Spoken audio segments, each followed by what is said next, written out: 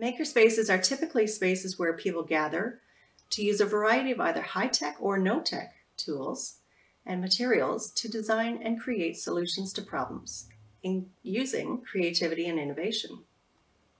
They attract artists, tech enthusiasts, engineers, builders, and anyone with a passion for making or learning new skills. Projects worked on in makerspaces can lead to new designs and innovations that have the potential for new products, entrepreneurs, start, startup companies, or employment opportunities. Within traditional makerspaces, tools such as computers, mobile technology, 3D printers, circuitry, and robotics are used.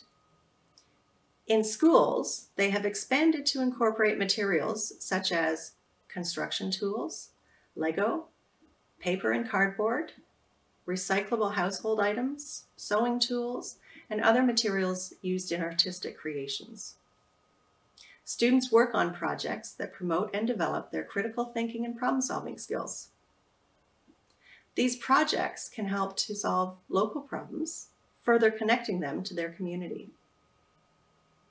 Through makerspaces, students can learn how to become agents of change in their own communities or even collaborate with others globally via technology to solve challenges.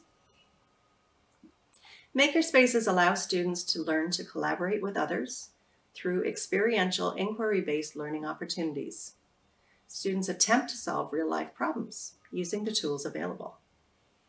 Students have opportunities to evaluate and revise their ideas and goals if needed.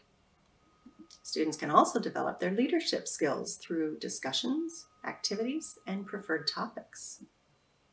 They can become the expert in the field.